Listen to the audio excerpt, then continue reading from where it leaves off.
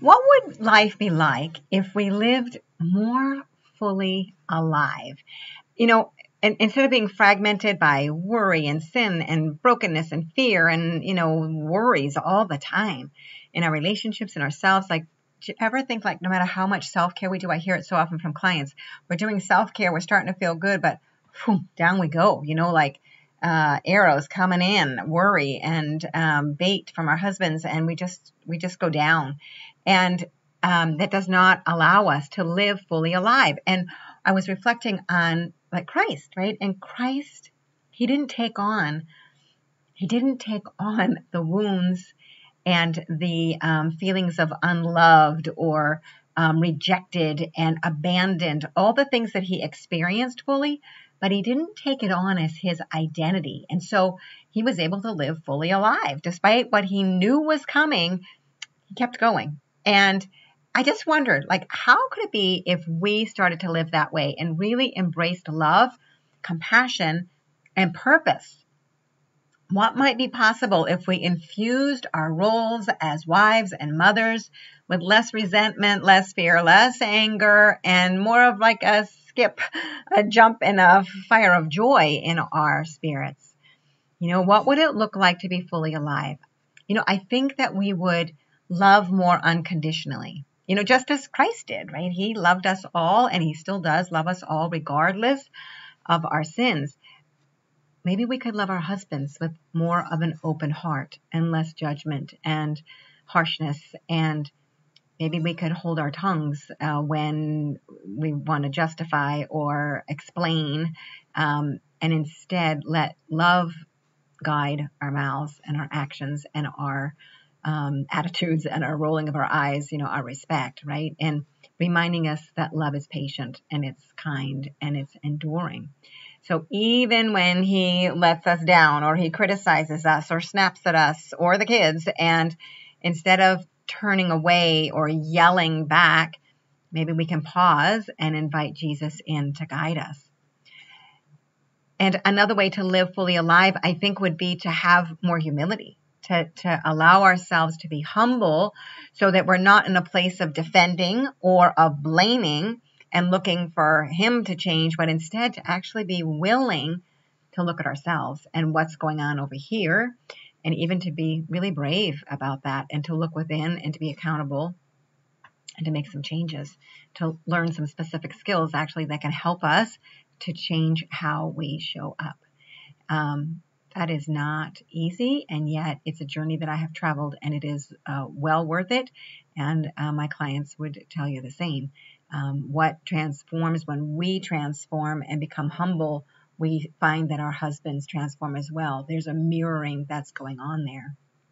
And then, of course, living more alive would include forgiveness forgiveness of ourselves for the errors that, that we humbly become aware of, but also forgiving Him and forgiving others, maybe who have hurt us in the past, that it's those wounds that are causing us to become controlling from whatever happened. Maybe it was our own parents' divorce. Uh, but all of that, like starting to forgive, because my goodness, right? What, what, what were Jesus's last words, right? Like, Father, forgive them. They know what, not what they do while he hung on that cross, dying. So it teaches us the importance and the power of forgiveness.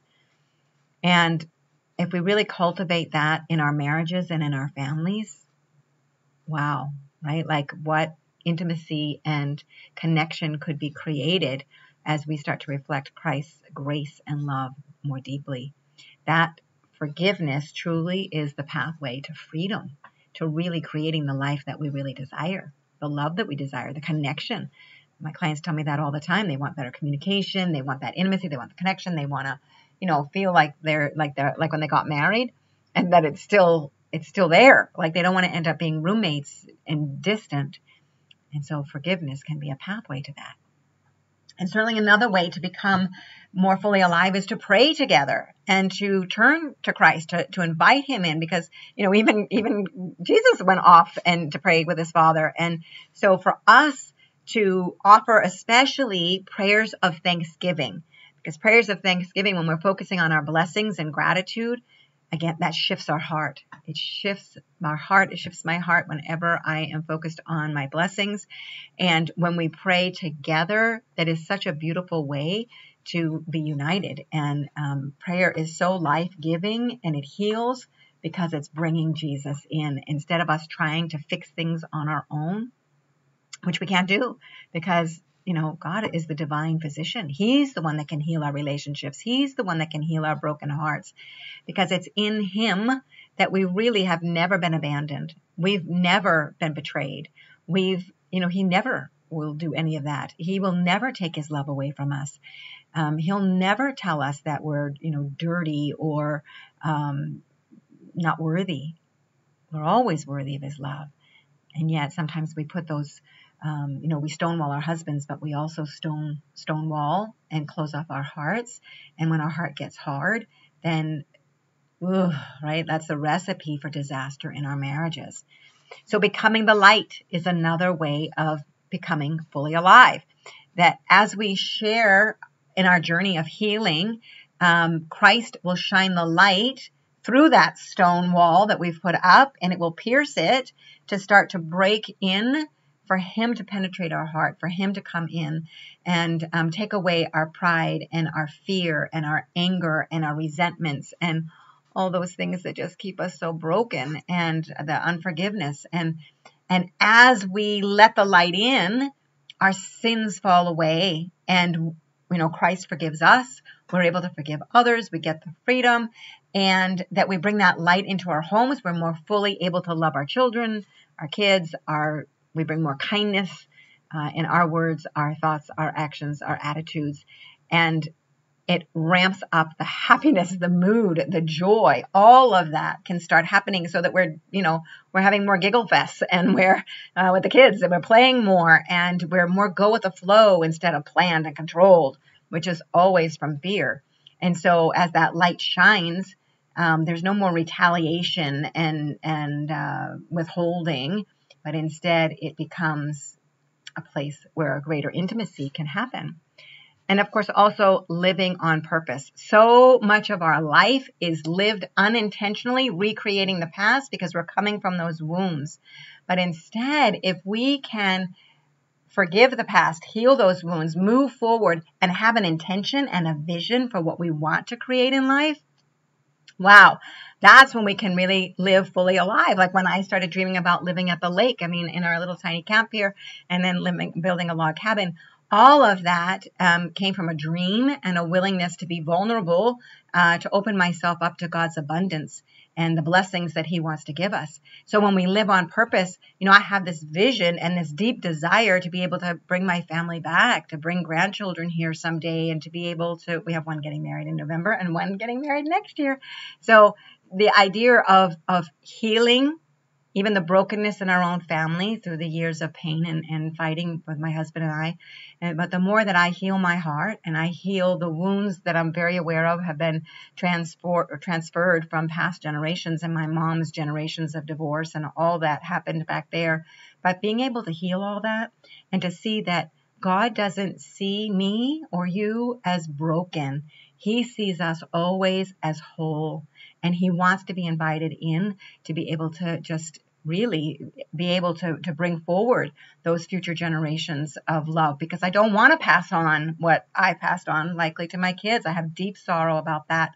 But the more that I can heal me, then the more there's hope in the future. And so when we can live on purpose with a, a mission of creating a legacy of love, that's what I stand for. That's what my work stands for is really healing marriages, healing couples, healing wives, which is why I work with wives, um, because the wife is the heart of the home.